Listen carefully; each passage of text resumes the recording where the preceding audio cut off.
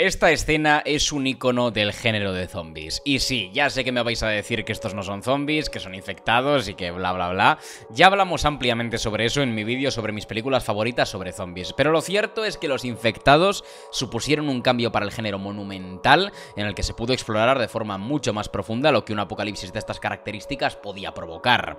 El horror es inherente al género de zombies. Desde la película debut de Romero e incluso pasando por otras revisiones como las de Fulci o el propio Boyle en 28 días después. La secuela de esa grandiosa película no estuvo a la misma altura y no por ser mala un producto de baja calidad. Juan Carlos Fresnadillo dirigió 28 semanas después con un plan estilístico que respetaba la película predecesora y que en muchos aspectos parece dirigida por el propio Boyle. El guion fue realmente lo que no estuvo a la altura de la primera, que estaba escrita por el legendario Alex Garland y se nota. Eso no quiere decir que 28 semanas después no sea disfrutable, sigue siendo una de las mejores películas de zombies que se hayan hecho nunca y captura la esencia terrorífica de Boyle Garland con un atino excepcional. Y la escena que marcó a todos los espectadores fue la inicial un detonante soberbio, un golpe de efecto horrífico y sin duda una escena legendaria para el género zombie. Hoy nos sumergimos en esta escena dirigida por Juan Carlos Fresnadillo, explicaremos sus claves visuales y narrativas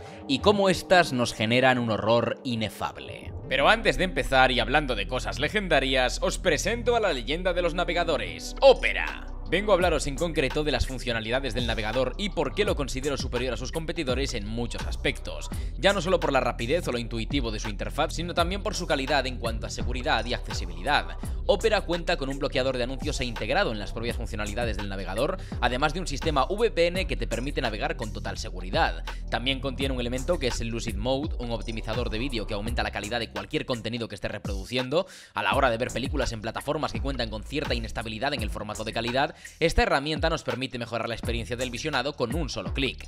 Pero además de eso, cuenta con una de mis funciones favoritas, que son los espacios de trabajo. Puedes organizar tus pestañas y ventanas en espacios de trabajo diferentes. A mí me ayuda a la hora de investigar un tema del que quiero hacer un análisis o para clasificar qué fuentes quiero tener guardadas a la hora de descargar contenido para incluirlo en la edición del vídeo. Esta función me parece la mejor para aquellos que se dediquen a la creación de contenido o desarrollen un trabajo que les demande una labor de investigación a través de internet que, sumado a ARIA, la inteligencia artificial incorporada de Opera que te responderá con información detallada en tiempo real. Con esta y unas cuantas funciones más, Opera es el mejor navegador disponible ahora mismo en el mercado y el que mejor oferta tiene en cuanto a funciones, seguridad y accesibilidad. Haz clic en el link de la descripción y descarga Opera de forma completamente gratuita hoy mismo. Acabada la recomendación, poneos Lucid Mode, acomodaos y sed todos bienvenidos a Escenas Legendarias.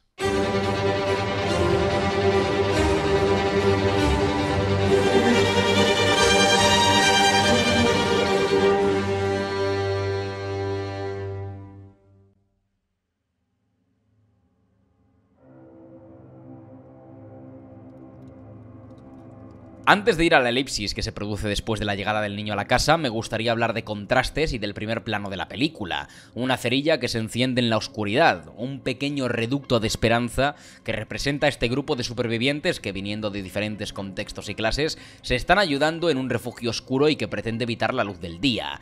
El horror está presente desde el principio. Un apocalipsis zombie, a pesar de lo que te diga Zombieland, no es divertida. No sabemos en qué lugar se encuentran los personajes y el el arranque se produce in media res. Estamos tan escondidos como ellos del mundo exterior y podemos intuir los peligros que se encuentran más allá de la casa. Y el refugio, como todo en un apocalipsis, es frágil.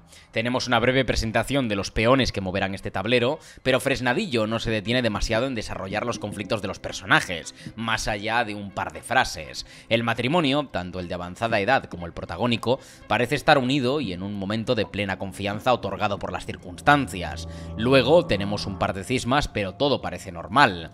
Queda poca comida, sabemos que se esconden y que afuera está la amenaza. Desde el momento en el que llega el niño, sabemos que algo va mal, o que está infectado, o que ha traído a esos seres consigo, y la película vuelve a plantearnos ese conflicto tan común de este género, egoísmo o altruismo. individualismo o colectivismo. Lo cierto es que la película no te deja pensar demasiado en esto porque a los 5 minutos de metraje los zombies han llegado a la finca. Son muchos, fuertes y muy hambrientos. Como en una pesadilla, el primer infectado aparece por sorpresa y los débiles tablones de madera caen como fichas de dominó. El acercamiento a los monstruos desde el principio es cerrado, no llegamos a ver sus rostros con detenimiento y no hay planos generales o muy abiertos que nos permitan dilucidar sus formas o sus movimientos. Son como animales salvajes cazando, imprevisibles y dotados de una agresividad providencial. Aquí es donde Fresnadillo recoge el testigo de la película de Boyle. 28 días después se nutría de atmósferas oscuras, donde lo lúgubre y las sombras duras conseguían generar por sí solas una sensación de peligro constante, de una tragedia que se podía oler en el ambiente. Los zombies son seres que emergen de esas sombras y que en cualquier momento pueden aparecer. La música empleada para elaborar el ritmo de la escena es sobresaliente. Desde el momento en el que una de las compañeras del grupo es mordida y se transforma, todo empieza a irse de madre. Los planos, como este detalle de sus ojos, funcionan como ráfagas. El montaje comienza a ser métrico, con planos breves y con un ritmo externo elevadísimo. Y empezamos a ver esos detalles que hacían a 28 días después una película legendaria en su género, el montaje intemporal. La característica clave del montaje intemporal es el uso de ralentís y aceleraciones que modifican la temporalidad de los planos. Eso, usado de una forma creativa e intencional, provoca que muchas secuencias respiren con un estilo único, como sucedía con la que analizamos en esta misma sección de 300, un montaje que destaca por la forma en la que Snyder aceleraba y ralentizaba en un compás musical. Aquí, las aceleraciones y ralentís no solo funcionan como medidor de tensión, también es un proceso con el que se da forma a los zombies. Las criaturas de 28 días después eran personas infectadas con el virus de la rabia. Eso no les hacía muertos vivientes, sino seres extremadamente peligrosos y movidos por impulsos impredecibles, con un vigor y una fuerza escandalosos. Gracias a los cambios de frame rate, es decir, a la cantidad de fotogramas que vemos por segundo, los zombies se ven aún más terroríficos. Parece que les vemos a cámara rápida y en otros momentos a cámara lenta. La suma de estas modificaciones a través del montaje consigue que estos bichos se vean sumamente aterradores. Y esto, también sumado a los planos cerrados, donde no vemos el escenario y nos perdemos en el eje, ayudado por la poca luz y la cantidad de sombras, nos hace sentirnos perdidos, en un lugar desordenado, caótico y peligroso esto lo hacía Boyle en 28 días después, pero no de la forma tan visceral que propone Fresnadillo. Los planos también coinciden en mantener angulaciones extremas y aberrantes, como el nadir de Jacob o el cenital del protagonista. Nos descolocan y consiguen hacer ver toda la situación como una balanza que está en constante contrapeso. No hay casi angulaciones normales. Tras la presentación de los zombies y el caos desatado en escena, la música, con esa guitarra, ahoga nuestra angustia y el eje de acción comienza a moverse. El plan de cámara sigue siendo el mismo, azuzar la lente en medio de la acción, como si el propio operador que maneja la cámara no tuviera un objetivo claro, siendo parte de la acción en cierta forma y aportando una inmersión que hace la escena cada vez más incómoda de ver. No hay nada más terrorífico que sentirse parte de una situación como esta. Por eso los planos tan cerrados y nada abiertos, porque estamos dentro de la escena, estamos con los personajes y nos sumergimos en su caos. La iluminación, a pesar de la entrada de los zombies, sigue remarcando el peligro inminente por cómo choca toda la luz con una oscuridad tan profunda como la que asola la casa, y la desaturación y contraste desde el etalonaje nos quita cualquier atisbo de esperanza. De hecho, la luz es esencialmente desesperanzadora en toda la secuencia. No hay color, nada a lo que agarrarse, y los contrastes entre luz y oscuridad son muy brutos. El cambio en el nivel de fotogramas por segundo sigue presente, también en los personajes que aún no han sido infectados, y esto nos genera incomodidad. La escena es antinatural en todo lo que propone, y la seguimos, pero a duras penas. Logramos ubicarnos por muy poco y ese mérito es de la escenografía. Sabemos en qué lugares de la casa estamos por algunas pocas referencias en el escenario, pero tampoco conseguimos sentirnos seguros en los rincones que atraviesan los personajes. La estrechez del escenario, como la del pasillo del piso de arriba, sumada a la oscuridad del mismo, consigue causarnos una claustrofobia increíblemente acuciante. Y esa claustrofobia nos está empujando a abandonar este lugar de una vez por todas. Sumado a esto,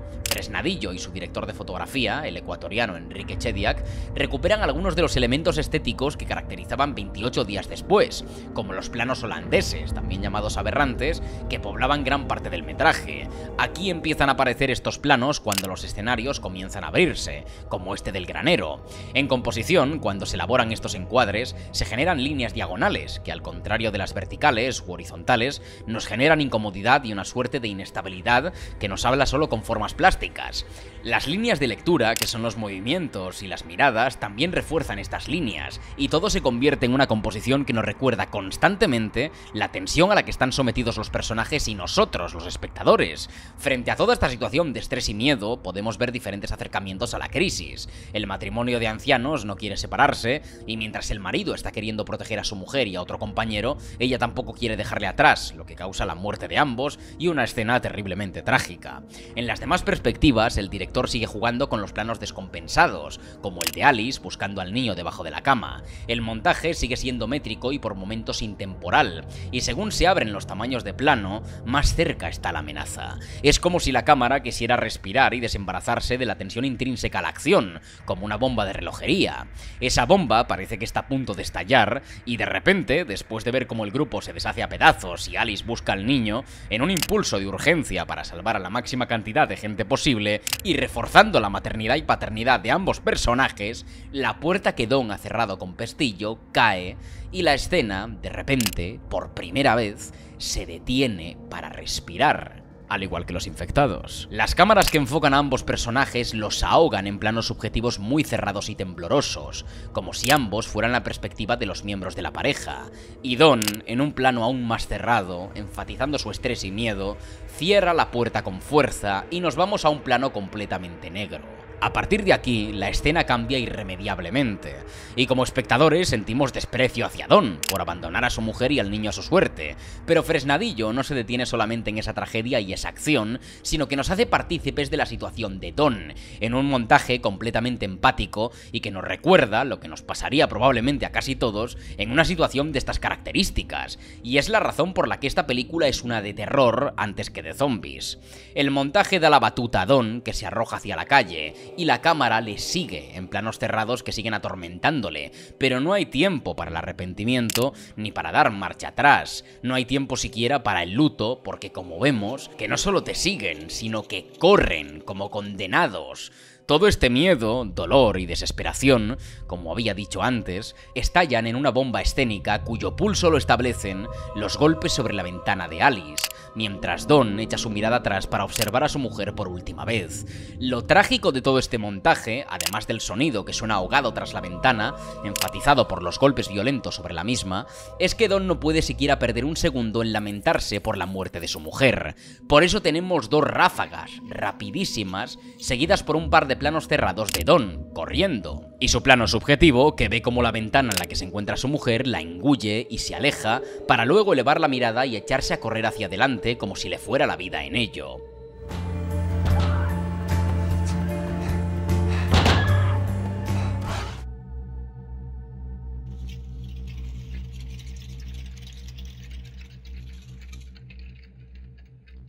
Este ejercicio visual y de montaje es sobresaliente, porque durante unos segundos parecía que Don tuviera el pequeño impulso de volver. Los planos que se acercan más a la ventana son una penitencia, un recuerdo culpable de lo que Don está haciendo, y según se hacen más grandes y cercanos, mayor es el impulso de volver. Pero en cuanto su mujer desaparece de la ventana, el plano se aleja y la lente se olvida de la casa, porque ahora solo toca correr. Y evidentemente tenía que sonar climáticamente y por todo lo alto In the House in a Heartbeat, el tema por excelencia de la saga, ese que ambientaba también los momentos más trágicos de 28 días después, ahora de forma ensordecedora y tomando el timón de la escena.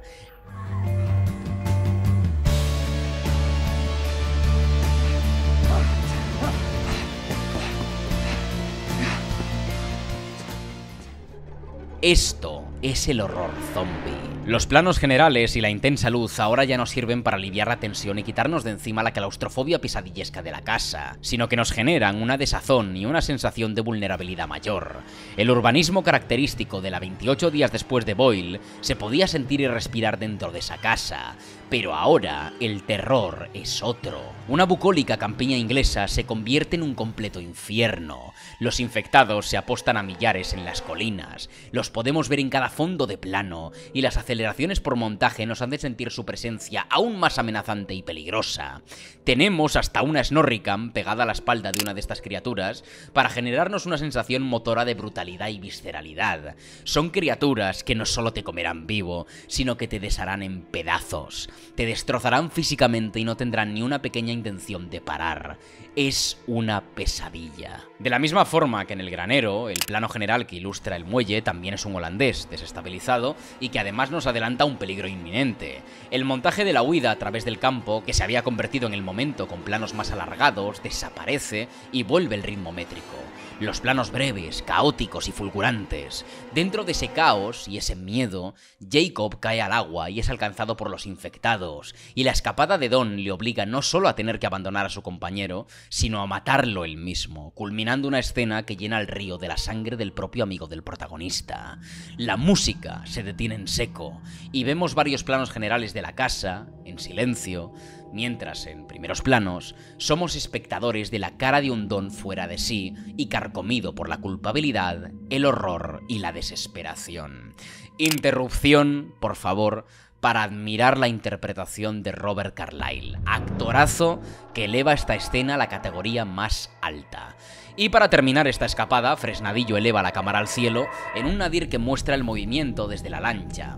Este plano me recuerda al de 28 días después, cuando Jim sobrevive a los zombies tras ser abandonado a su suerte en un bosque, el momento en el que este eleva la mirada y observa un avión en el cielo, abandonando Reino Unido y dejándole solo en el infierno.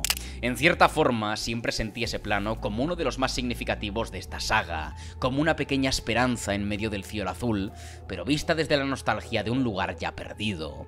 Aunque también se puede interpretar como que mientras el lugar se encuentra en una propio de una pesadilla, el mundo real sigue girando, mirando hacia otro lado. En el caso de 28 semanas después, no hay avión, solo nubes y un sol que se oculta tímidamente tras las ramas de los árboles. Podemos entender que, en este punto de la epidemia, en la que se encuentra Don, ya ni siquiera hay aviones porque no hay nadie que vaya a intentar salvar la isla o a sus ciudadanos. Al menos... por ahora.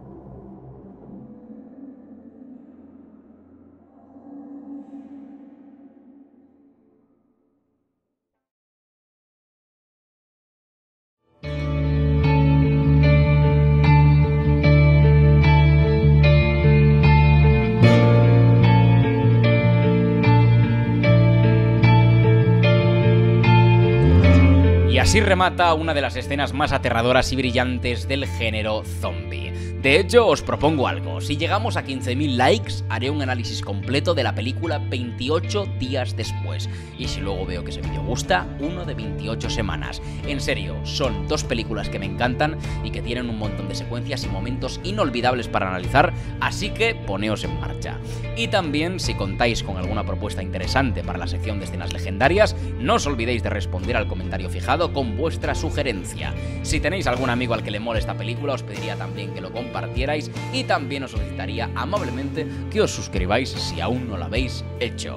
Sin mucho más que decir, me despido. Un saludo e id en paz.